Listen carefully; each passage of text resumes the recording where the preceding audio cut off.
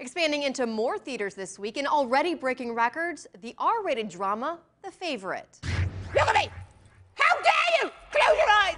The Favorite debuted in just four theaters last weekend and made nearly a half million dollars, the best per theater average so far this year. But when it comes to describing what the movie is actually about, even star Emma Stone has a little trouble.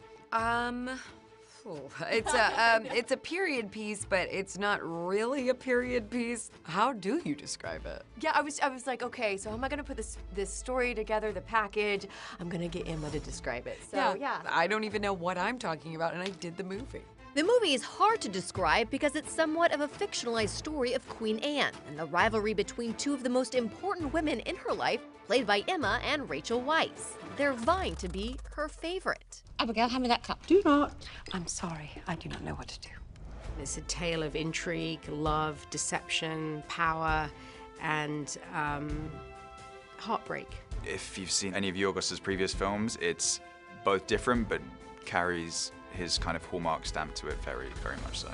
Joe Alwyn, who's getting a lot of media attention for dating Taylor Swift, says director Yorgos Lanthimos combined complex relationships with humor, a unique mix of music throughout the film, and incredible costumes. The fabrics are like denim and leather, and you know, it's all in black and white. It's so kind of unique and modern. It was such a unique film to be a part of, and it's just so much fun and such a surreal, slightly crazy world to step into.